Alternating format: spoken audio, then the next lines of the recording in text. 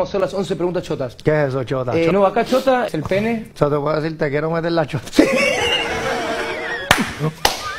Muy bien aplicado en oración. Sí. Excelentemente. La dije Le bien. dimos un 10. ¿no? Yo puedo decir que a mí Justin Quiles me dijo te quiero meter la chota. Y te cojo, te voy a dar un chotazo. La próxima canción de Jay Quiles, chotazo.